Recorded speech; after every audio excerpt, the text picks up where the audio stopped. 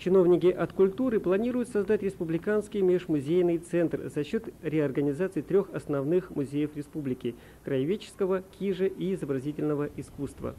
Все это они называют мерами по сохранению отрасли культуры в условиях финансового кризиса. Проще говоря, действует все тот же совковый принцип «разделяй и властвуй».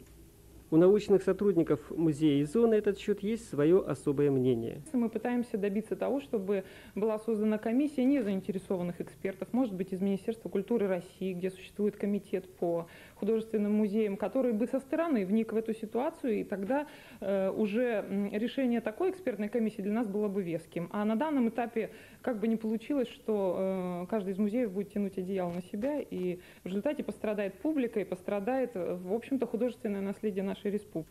В ближайшее время в Министерстве культуры планируется сокращение кадров.